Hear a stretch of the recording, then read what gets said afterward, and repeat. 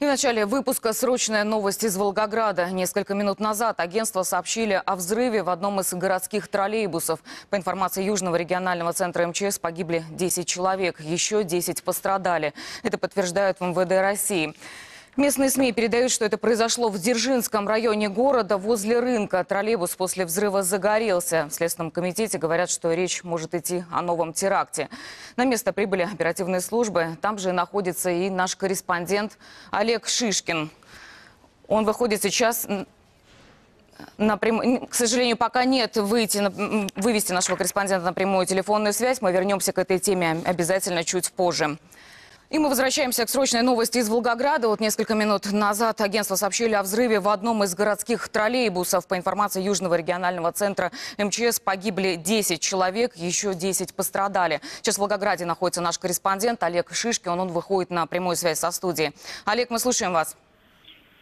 Алена, я сейчас нахожусь, наверное, метрах 20, может, 25 от э, места, где произошел теракт. Тут передо мной троллейбус 15 маршрута. Честно говоря, от троллейбуса вообще мало что осталось. Взрыв был такой силы, что вот, э, вот сейчас я вижу перед собой просто остров. Средней двери вообще нет. Заднюю, э, заднюю стену вот практически э, погнула и искорежила, и практически ее вот отде, э, взрывом отделила от троллейбуса. Крыша тоже практически вся. Крыша отсутствует. Вот часть крыши, которая находится вот над водительским местом, она просто страшно искорежена.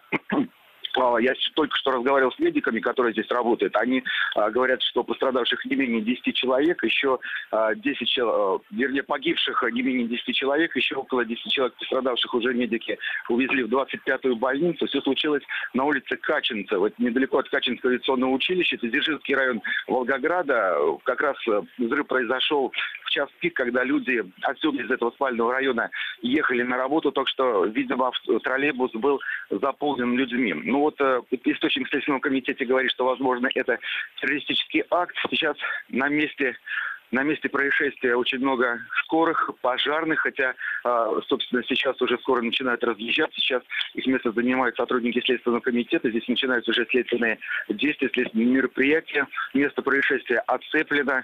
Э, вокруг, э, как я уже говорил, много медицинских работников. В общем, здесь работа, работа сегодня будет, видимо, продолжаться до позднего вечера, Алина.